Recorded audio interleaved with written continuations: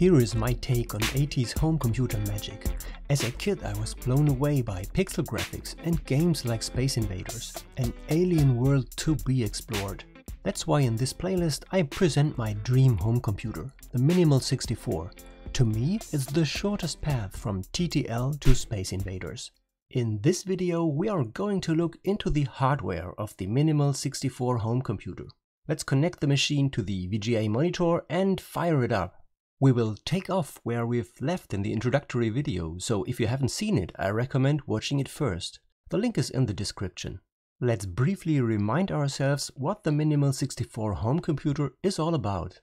It is the result of my three-year hobby project and with this video I'll release the design into the public for you to build it too. It's free for any non-commercial use. You'll find the link to the GitHub repository in the description. As you can see, we are presented with a capable DOS environment, fully bitmapped graphics, a native development toolchain and even some classic games here. Let us get a feel for the CPU architecture. Here is a block diagram. The legend up here shows the color coding of the various parts of the CPU, the control signals, functional blocks, their subcomponents, data lines, and the main bus. We can identify five functional blocks here, the control logic, the arithmetic and logic unit, a program counter, memory featuring RAM, video RAM and flash, and an I.O. section. They are all interconnected by a single 8-bit data bus shown as a dark bold line in the center. The thin black arrows represent individual connections and also show the involved number of bits. The arithmetic and logic unit or ALU features two 8-bit general-purpose data registers a and B. It can output the result of one out of four different operations back onto the bus. Add, subtract, bitwise logical AND, and bitwise logical OR. The I.O. section features an 8-bit universal asynchronous receiver and transmitter, in short a UART or serial interface, and a PS2 keyboard input.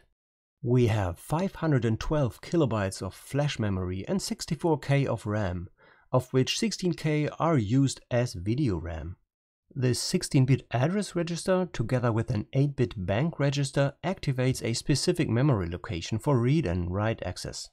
The control unit itself consists of a 7-bit register holding the current instructions opcode, a 3-bit flag status register and a 4-bit counter stepping through the current instructions microcode.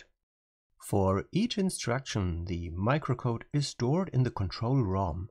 At any given time, the control ROM outputs a valid set of 24 signals, as shown in red. And that's feeding back as control inputs to the various components we've already discussed. The whole circuit is clocked at 8 MHz. But every fourth clock cycle, the VGA section takes control over the RAM for video output. Thus the actual clock rate of the CPU is 6 MHz. For a more in-depth explanation, I recommend diving into the 30 plus pages of the Minimal 64 user manual. Again, the link is in the description. Let's now go and download the KiCad schematics from the GitHub repo and identify the actual implementation of the sections we've just discussed. But don't worry, we won't go into any circuit details in this video. It took me a long time to optimize every aspect of the design and how everything plays together. I think it cannot be simplified any further, which, after all, was my major project goal. But if you have an idea on how to further reduce the chip count without just integrating logic, please let me know in the comments. Now on the right we can click and see how the A and B registers wire to the ALU with its arithmetic and logic sections, as well as the 16-bit program counter.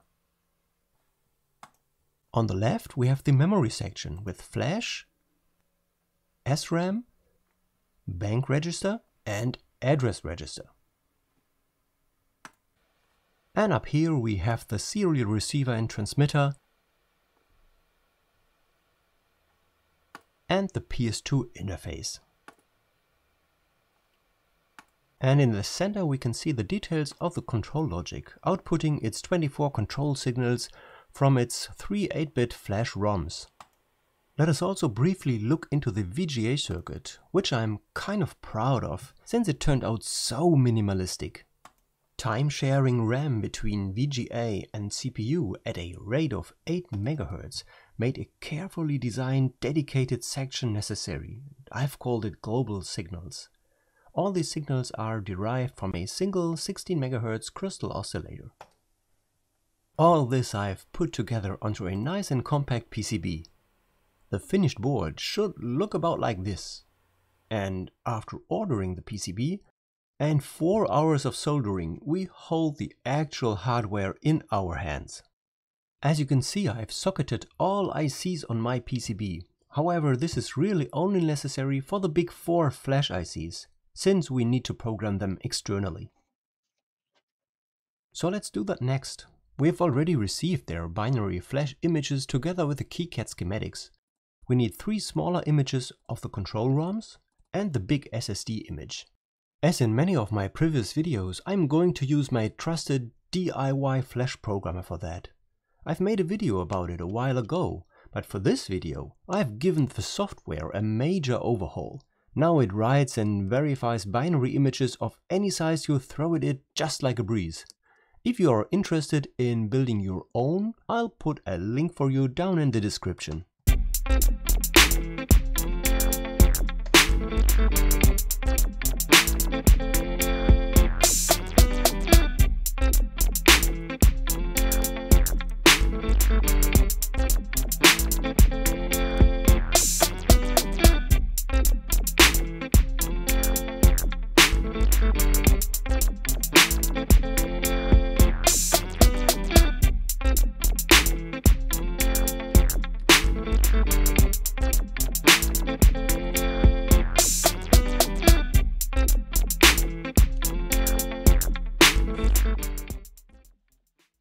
Phew, finally we are set up for a test run.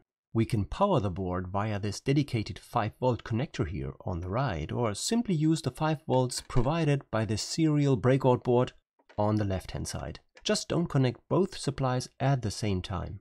I'm using my serial breakout board today since I'll hook it up anyway.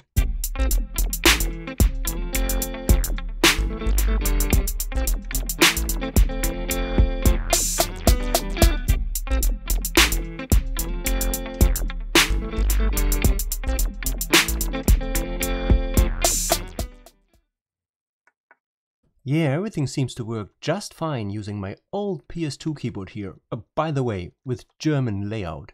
Hmm, but how to convert to the US layout of my nicer mini PS2 keyboard? We'll have to give the OS a little update for that via the UART interface.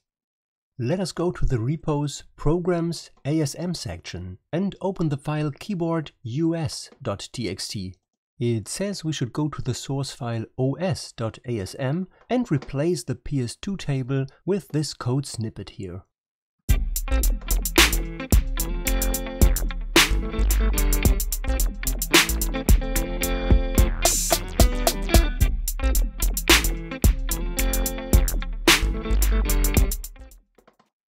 Okay, now I'm going to open up a console window and assemble the modified OS code.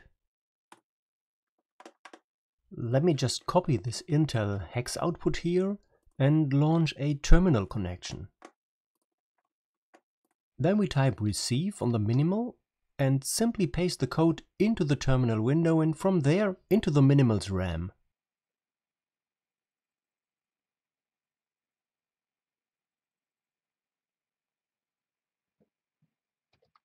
Now by typing flash enter on the minimal, the new code is finally copied to the OS's flash memory location.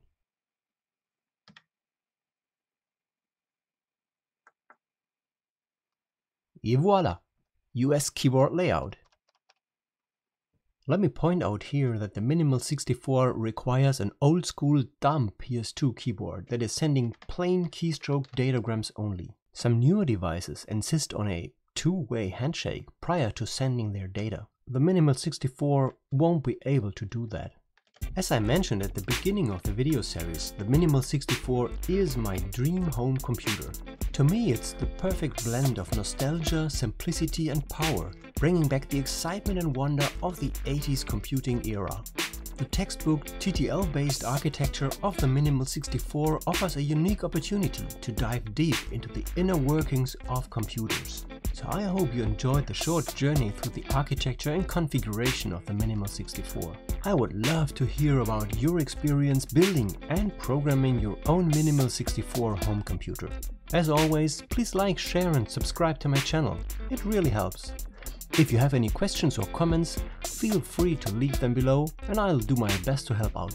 Take care. Bye.